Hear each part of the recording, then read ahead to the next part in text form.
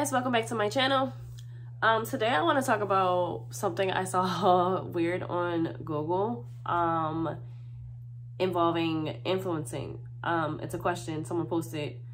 Do you need to be pretty to be an influencer? Um i will tell you that it helps a lot.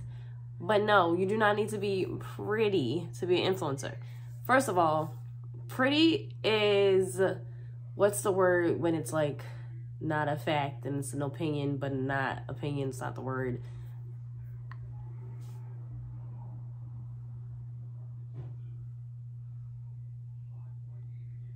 Y'all know what I'm talking about. I'm gonna I'm figure it out and that word. Okay. So no, you don't need to be pretty. You need to have influence. You need to build relationships. You need people to believe what you're saying.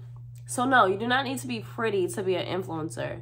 I mean, it probably helps depending on what the niche is, but like, if my influence is in if in real estate and I'm selling houses in or I'm promoting things I like on Amazon, you don't even need to see my face for that. I'm literally just posting or blogging about things that I find enjoyable that I think my followers or supporters will also find enjoyable. So no, you don't need to be pretty for that. A lot of times, depending on what you're trying to, what your niche is, what your market is, you don't even need to show, your face in these posts. It helps to show your face if you are trying to influence for makeup brands, hair brands, clothing companies, those things, fashion stuff. Yeah, it helps but it's not a guarantee.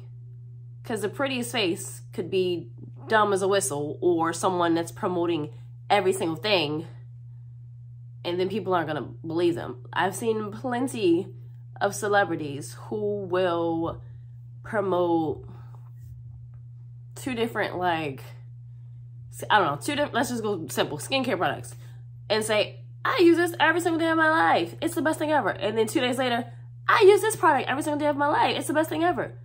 Bro, you're lying. No. So now, I don't care how pretty you are. Now you just lied to me. So now I'm no longer following what you're saying. I'm no longer following your influence. I might still follow your page because you post cute pictures, but I'm not going to purchase what you're selling to me or join the group that you want me to join because then you're just a liar.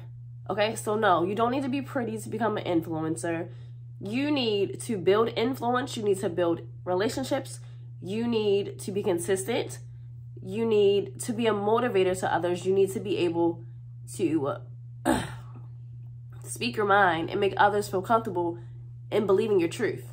That's how you build influence, and that's how you stay in this game of being an influencer. That's it. Thanks for watching this video. I will see you guys in the next one. Bye.